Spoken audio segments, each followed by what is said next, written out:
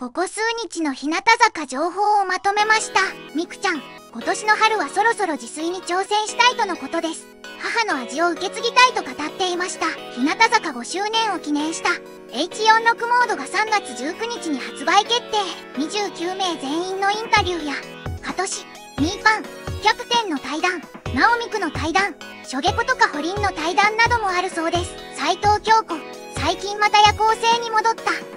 5、6時に寝て、14時に起きるように朝起きた時のコンディションの絶望感がすごい。キョコロヒー CD 発売イベントがタワレコ渋谷で2月18日に開催決定。タワレコ渋谷で予約またはタワレコオンラインで予約しイベントに応募した中から300人を招待とのことです。ニブちゃんとパルひなあいのファーストアルバムの「アマダイ」を釣るヒット祈願から仲良くなったと判明。この企画でひなのトカゲも仲が深まったとブログで書いており小坂と三国もこの企画きっかけで話すようになり仲良くなったと発信してたので改めてこの企画すごいですね笑い。